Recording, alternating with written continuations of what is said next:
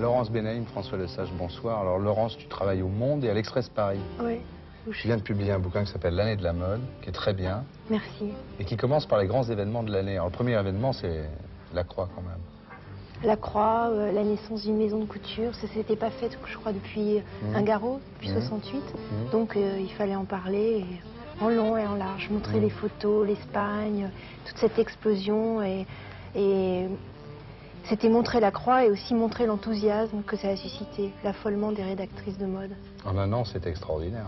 Extraordinaire, oui. Tout le monde, elles étaient toutes en noir, elles sont Mhm. revenues euh, habillées euh, en petite Esmeralda. euh. Il y a les 40 ans de Dior aussi, le New Look, l'anniversaire du New Look.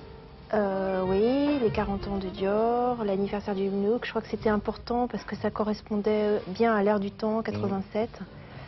Euh, Il y a l'Espagne, il y a les chapeaux, les mariés. Les mariés, puis il y a aussi le, le mariage de la haute couture, le retour de la haute couture, c'est l'éternel retour de la haute couture. Ouais. Et le mariage avec le théâtre aussi, avec euh, tout ce qui a été fait pour... euh, Je crois que de, de plus en plus, les, les couturiers participent au, au théâtre, à la danse. mhm.